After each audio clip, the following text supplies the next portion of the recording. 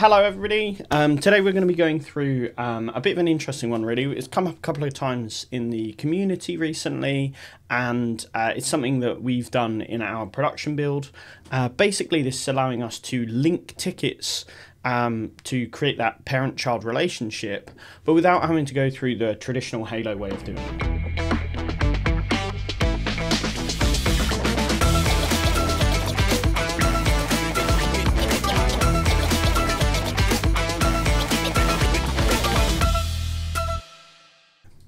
So just to demonstrate the traditional kind of Halo way of doing this is either link to another ticket or link tickets to this ticket.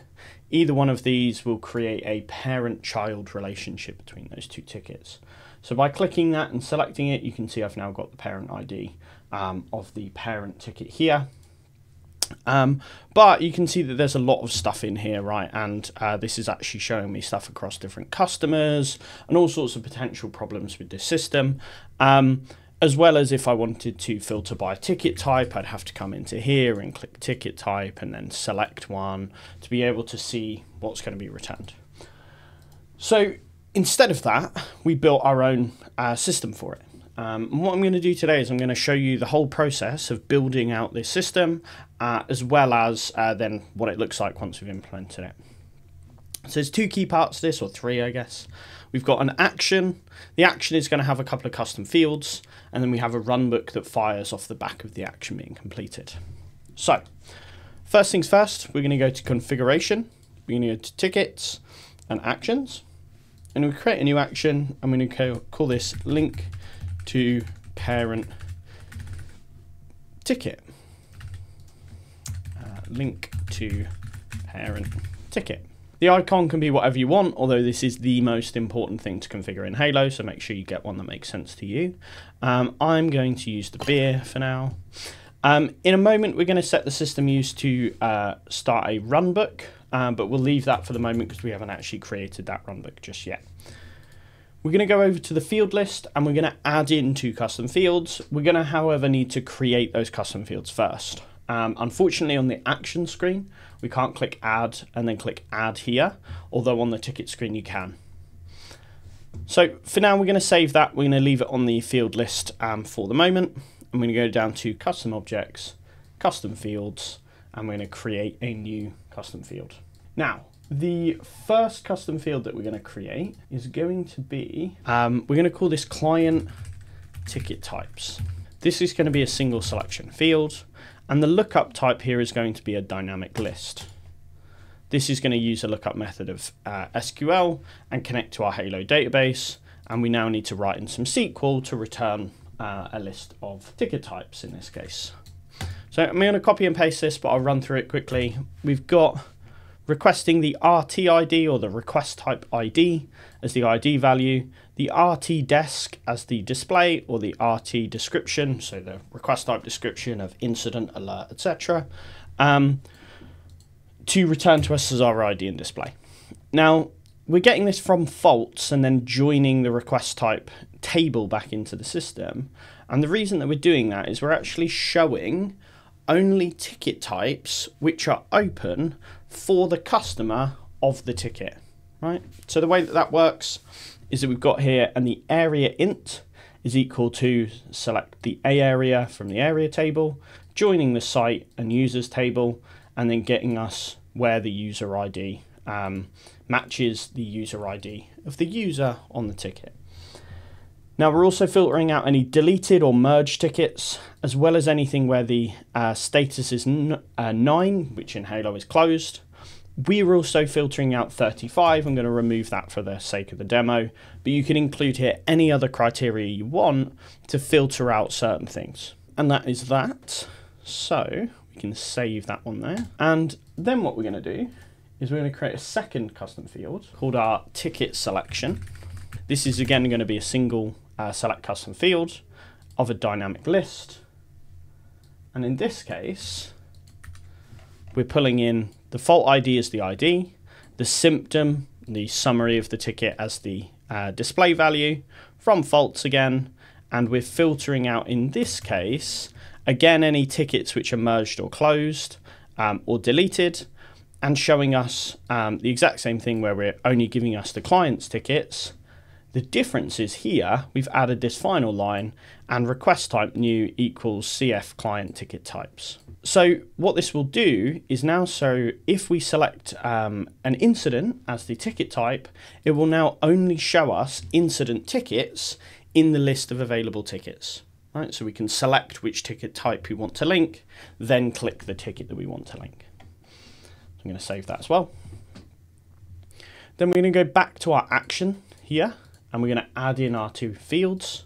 We're going to add in our client ticket types and our ticket selection and hit save and hit save here. Now, what I'm going to do is I'm going to add these two fields to a field group and I'm going to call this link to parent. We're going to go to the defaults. We're going to hide it from the end user at all points. We're going to make them required on agent actions, but actually hidden from the new ticket and detail screen because we don't really need to see these um, unless um, we're doing the action that we want to see them on. We're going to add our new fields and we're going to call those, um, going to grab uh, client ticket types and ticket selection, hit save and save them there. Now I'm going to add that field group back into my action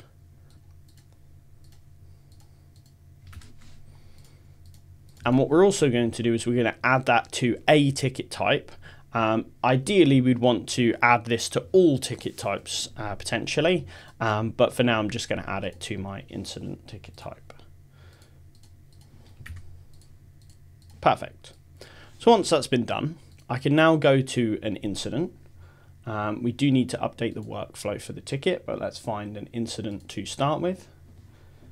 If we find an incident, I'm going to go to the workflow. You can do that now by clicking on the workflow as long as you've got the correct permissions um, from uh, the ticket, which is great. And come into here.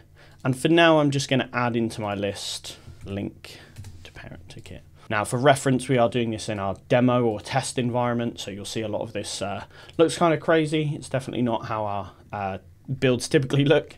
Um, this is very much just used for testing. Cool, so I can click link to parent and you'll see here I now have a client ticket types drop down of which we can see there are four and I have a ticket selection.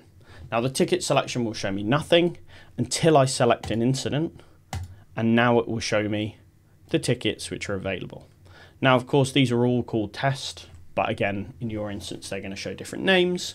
We could also concatenate that uh, symptom with the user of the ticket, with the site of the ticket, any information you want really. Um, but for this purpose, we've just got the um, uh, the uh, symptom of the ticket.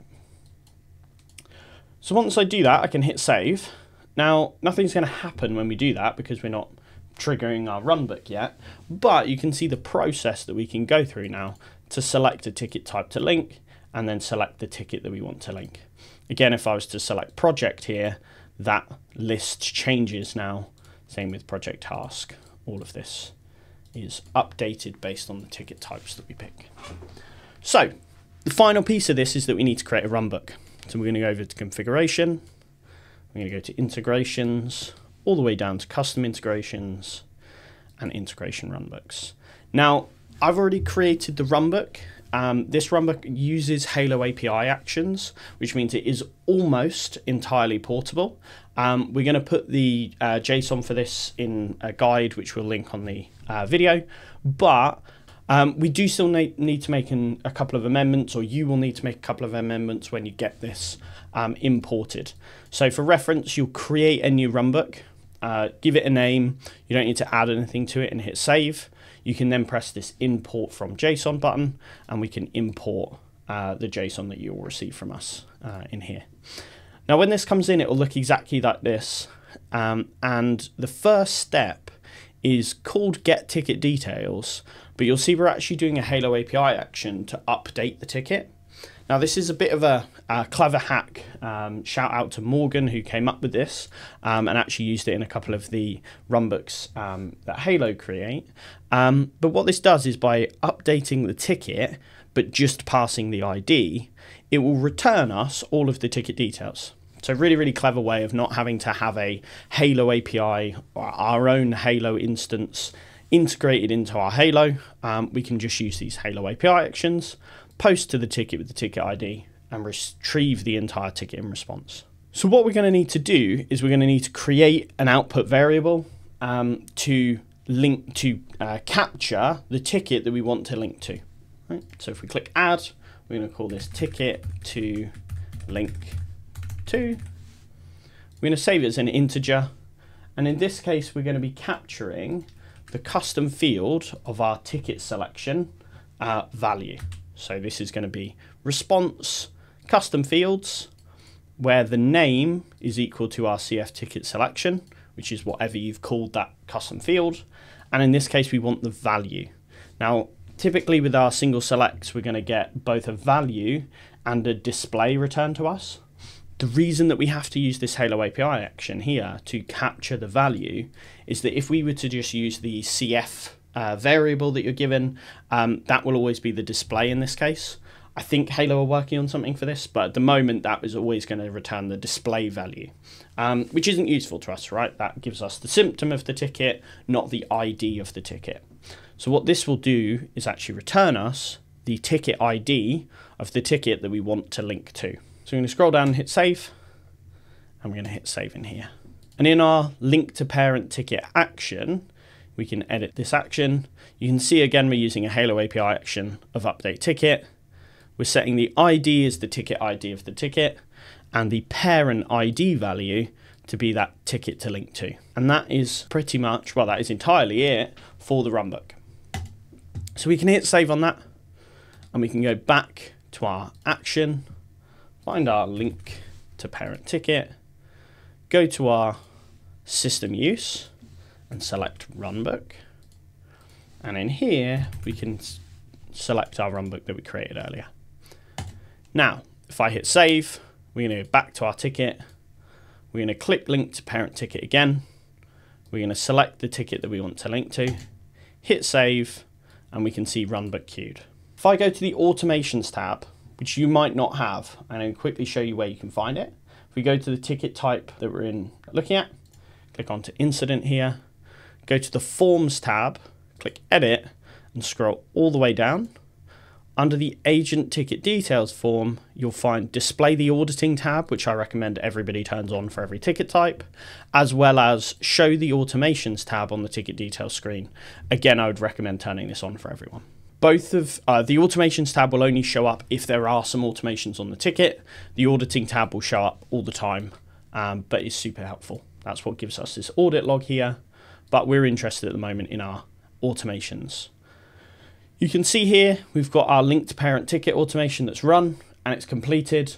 And you can even see on the right hand side now we've got the parent ID of the ticket that we linked to.